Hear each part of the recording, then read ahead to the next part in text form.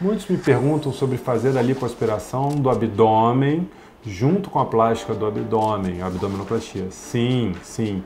Eu sempre inicio a cirurgia fazendo uma intensa lipoaspiração desta região. Afinal de contas, não adianta retirar só a pele. É necessário dar contorno, afinar a cintura e abaixar a parte elevada que fica acima do umbigo.